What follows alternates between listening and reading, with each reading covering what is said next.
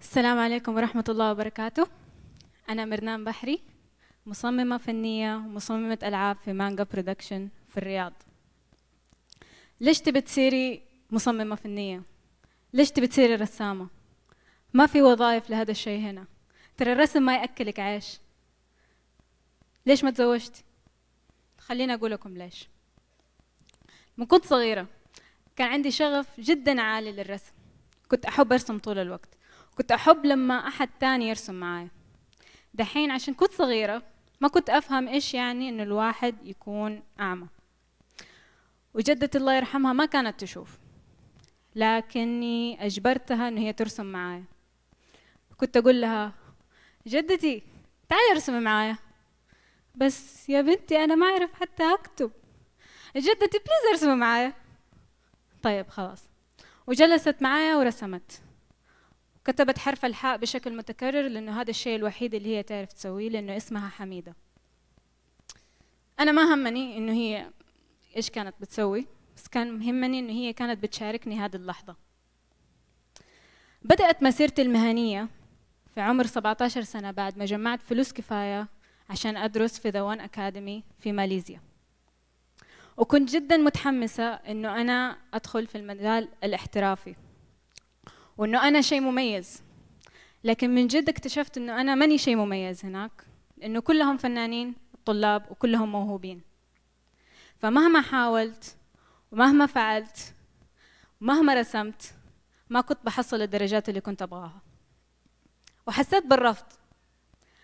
دحين الرفض شيء كويس. الرفض احترام لوقتك. الرفض احترام للوقت. لكن أنا ما كنت أفهم إيش يعني معنى الوقت بسبب العناد. بعدين أهلي قالوا لي عن فرصة في كندا عشان أدرس تصميم الألعاب. فرحت في جامعة Sheridan College ودخلت في مجال تصميم الألعاب. تعرفوا إنه أكثر ناس من فئة اللاعبين حاليا في هذا الوقت هم النساء فوق عمر 30 سنة.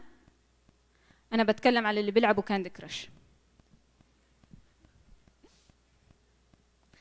لمشروع التخرج أنتجنا وطورنا لعبة اسمها Detective VR المحقق الافتراضي. وكنت في فريق جدا خشن التعامل وكانوا يسموني الفنانة الحساسة أو العاطفية.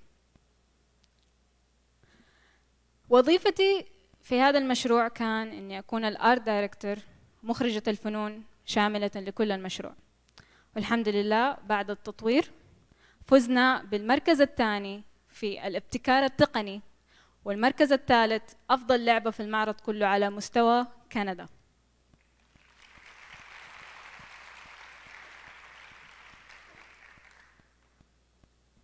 أنا جدا فخور إن أنا أكون جزء من ذا الفريق. بسبب الضغوطات الجامعية وبسبب الغربة اتشخصت بالاكتئاب وبالوسواس الاجتماعي والهلع. ولو من دون هذه الحاجات ما كنت حأعرف قيمة التنوير وقيمة السعادة. وبرضو بسبب الضغوطات الجامعية وبسبب كثرة الواجبات وبسبب الستريس صار عندي متلازمة النفق الرسغي.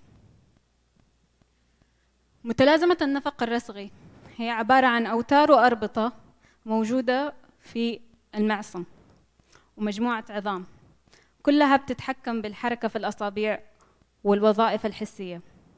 تدمرت عندي تماما من كثر استخدام يدي في الكمبيوتر وفي الرسم. ما قدرت أسوي أشياء بسيطة زي إنه الواحد يكنس بمكنس عشان ينظف زي إنه أنا أفتح الباب ما قدرت أفتح الباب زي إنه أنا بس أسوي أتفه شيء ممكن يدك تسويه إن أنت تضغط على الماوس وترسل الواجب حقك. مستقبلي اتدمر لأول مرة في حياتي بعد 22 سنة من الرسم المتواصل من طفولتي وقفت. وتجردت من كل شيء أنا حسبت أو كل فكرة أنا توقعت هي أنا مين. أنا مين؟ مين أنا؟ أنا رسامة؟ محركة؟ فنانة؟ مصممة ألعاب أنا مين؟ اتجردت من كل حاجة. حسيت نفسي كأني في غرفة مليانة موية وما قدرت أتنفس. مسؤولية كبيرة إنه كل واحد يختار إيش هو الشيء الصح يشوفه في هذه الدنيا. لكن أنا اختياري كان إنه أكون الشخص اللي كنت أحتاجه وأنا صغيرة. إني أكون سبب عشان يكون في وظائف. في هذا المجال في السعودية. الروح الإبداعية عشوائية غير عقلانية عاطفية ولأنها الأكثر فوضوية هي أكثر شيء يحتاج تهذيب وتدريب. بعد ما تخرجت من الجامعة جتني فرصة في برنامج Toei Animation في اليابان بالتعاون مع Manga Productions للزمالة والتدريب. بعدها على طول الحمد لله اتوظفت معاهم. plot twist بسبب وظيفتي رسلوني على ماليزيا مرة تانية. ودي المرة مو إنه أنا طالبة ومبتدئة ولكن إن أنا أكون مشرفة على 14 طالب وطالبة سعوديين في مجال صناعة المحتوى.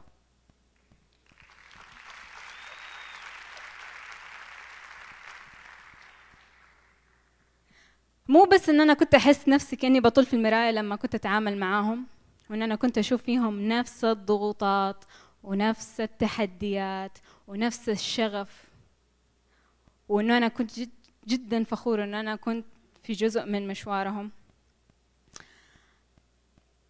لكن كان تجربة جدا رائعة.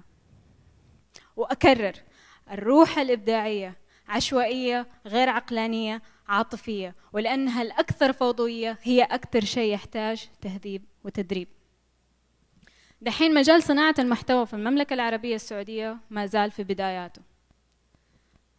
ما زال شيء جديد ولسه ما عندنا الخبرة الكافية عشان ننتج محتوى ذو قيمة عالية وأخلاق وجودة عالية. لكن إحنا شدينا حيلة في مانجا برودكشن حاولنا إن إحنا نتحدى هذه الأشياء وننتج عمل. ففي النهاية أنتجنا شيء وقلنا خلينا خلي العالم يشوف ثقافتنا. خلينا نسلط الضوء على تاريخنا. خلينا نعبر عن أنفسنا. وأنتجنا هذا العمل.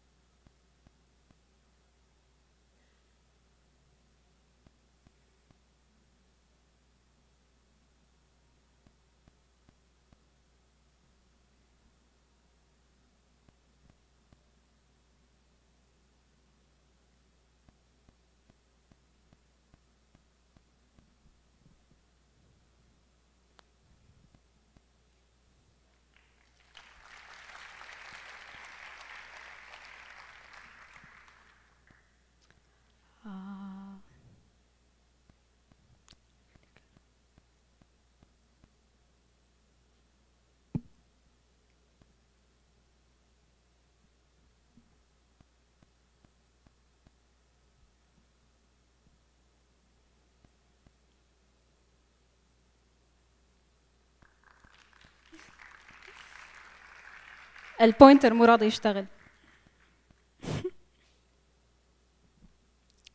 okay. بسبب رزقي أنا كنت بتعايش مع مرض مزمن صامت. وبعد جلسات مطولة من العلاج الطبيعي والوظيفي قدرت إنه أنا أحصل الشعور في أصابعي مرة تانية. قدرت أفرق لما أمسك القلم هل هو خشب أو بلاستيك؟ هل هو كبير أو صغير؟ هل الورقة اللي أنا بحرك يدي عليها ناعمة أو خشنة؟ كل هذه التفاصيل اللي أنا انحرمت منها أيام المتلازمة.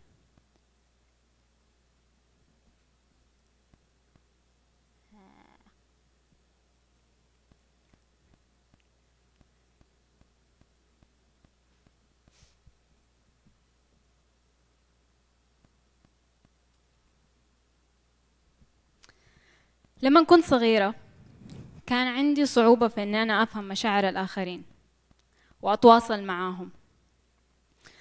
وكنت دائما في انزعاج تام من المؤثرات الخارجية اللي حواليني. وعشان أهدي نفسي كنت أرسم.